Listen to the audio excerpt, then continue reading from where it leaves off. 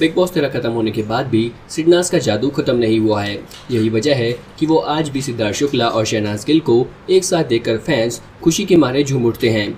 बीते पाँच महीने से फ़ैन सिद्धार्थ शुक्ला और शहनाज गिल के टीवी पर वापसी करने का इंतज़ार कर रहे हैं। कुछ समय पहले ही खबरें आई थी कि एकता कपूर की आगामी web series broken but beautiful three में सिद्धार्थ शुक्ला और शहनाज गिल की जोड़ी रोमांस करते नज़र आने वाली है। ये खबर सामने आने के बाद सिद्धार्थ शुक्ला और शहनाज गिल के फैंस जश्न मनाते नज़र आए थे। इसी बीच दावा किया जा रहा है कि web series broken but beautiful three में सिद्धार्थ शुक्ला के साथ शहनाज गिल नहीं नज़र आएँगी। एक रिपोर्ट में दावा किया गया है कि web series broken but beautiful three की कहानी का काम पूरा हो चुका है। Web series broken but beautiful three में सिद्धार्थ शुक्ला मेल लीड के तौर पर नज़र आने वाले हैं।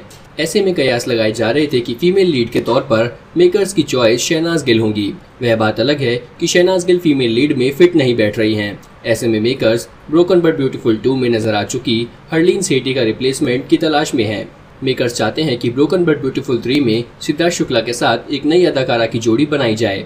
अब तक भी इस बारे में मेकर्स ने किसी तरह की आधिकारिक घोषणा नहीं की है।